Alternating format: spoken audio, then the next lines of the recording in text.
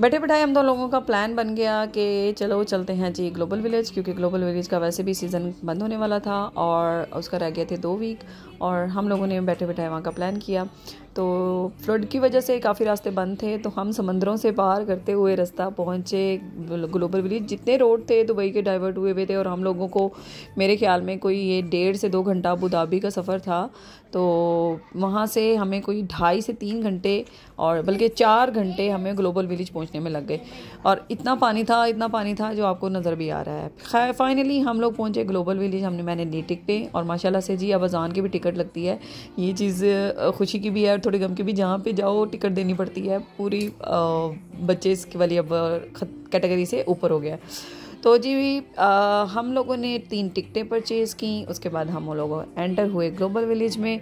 सबसे पहले तो हम लोग जो ख़ास तौर पे गए थे स्टंट शो के लिए वहाँ से एक स्टंट शो की भी आगे टिकट्स थी फिर हमने वो परचेज़ की जो कि मेरे बेटे को बहुत शौक़ है गाड़ियों का ड्रिफ्टिंग का तो ये हमने स्टंट शो देखा वहाँ पे। और काफ़ी अमेजिंग स्टंट शो था और ए, हमारा हम जब लास्ट टाइम जब गए थे ग्लोबल विली तो ये नहीं चल रहा था उस टाइम आई डोंट नो क्या रीज़न थी तो इस बार ये स्टंट शो चल रहे थे इनकी टाइमिंग्स थी तो पहले हमने चेक की थी फिर उसके बाद हम लोग गए। तो हमारा यही था कि हम लोग जाके सबसे पहले स्टंट शो देखेंगे उसके बाद हम बाकी ग्लोबल विलेज घूमेंगे। वैसे भी ग्लोबल विलेज वो ख़ास जगह है जिसको मैं जितनी बार जाऊँ जितनी बार घूमूँ मेरा दिल नहीं भरता। और मेरा दिल करता है मैं जी बार बार जाऊँ। यस yes, बिल्कुल ऐसा ही है। मुझे कभी भी मैं ग्लोबल विलेज से फेडअप नहीं हुई। मुझे हमेशा मज़ा आता है और मैं हमेशा इंजॉय करती हूँ। और मैंने सोचा चलें जी ये सीज़न ख़त्म हो रहा है तो जाते जाते कर लूँ। ओ हाँ ये चीज़ मैंने बेक पोटैटो काफ़ी अर्से से प्लान कर रही थी कि मैं ये ट्राई करूँ। तो मैंने सोचा मैं ये ट्राई करती हूँ तो मुझे बिल्कुल भी पसंद नहीं आए। वेरी फ्रेंकली स्पीकिंग तो फिर हम एक पवेलियन में घुस गए। मुझे पवेलियन का नाम भूल गया।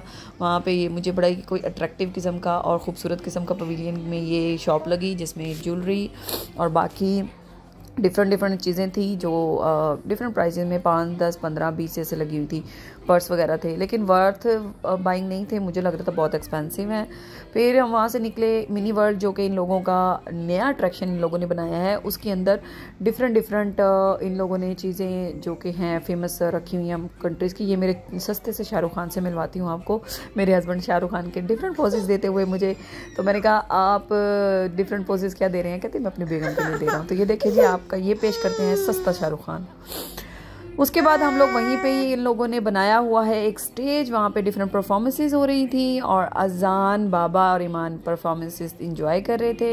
ये सेपरेट स्टेज है मिनी वर्ल्ड के अंदर। काफ़ी घूमने घुमाने के बाद हम लोगों को लग गई भूख और हमने गलती कर दी जाके खाना खाने की बुंदू खान पे, जो बुंदू खान बहुत ही फ़ेमस है और पाकिस्तान में तो मैंने खाया है, वहाँ का तो अच्छा था फोर्ट्रेस का बट यहाँ का मुझे बिल्कुल पसंद नहीं आया और प्राइस भी एक्स्ट्राऑर्डनरी हाई है। वन प्लेट सर्विंग थी और प्राइस इतनी ज़्यादा थी कि बस ना ही पूछे। मुझे बिल्कुल भी मज़ा नहीं आया खाना खा के। खैर टेस्ट आ, कह सकते हैं थ्री आउट ऑफ़ टेन बिल्कुल भी आप भी मैं नहीं कहूँगी कि वहाँ जाएँ और अपने पैसे वेस्ट करें। उसके बाद थोड़ी सी हमने पिक्चर्स बनाई थोड़ा सा प्ले एरिया घुमा अजान की ज़िद थी कि उसको ना ये एक्सोवेटर वगैरह बहुत पसंद है तो उसने कहा मैंने खेलना है। तो हमने वहाँ से एक टिकट ली उसकी और फिर उसको इन्जॉय करवाया थोड़ा सा।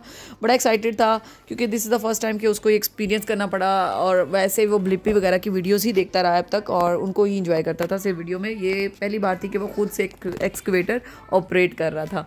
काफ़ी इसने इन्जॉय किया बच्चों की इन्जॉयमेंट के लिए ही गए थे और ख़ासतौर पे मेरा अपना बड़ा दिल था कि मैं लास्ट सीज़न का लास्ट वीक चल रहा है तो मैं जाके थोड़ा सा इन्जॉय करूँ। ग्लोबल विलेज को आ, जो ये जगह है ना मुझे कभी भी फेडअप नहीं करती।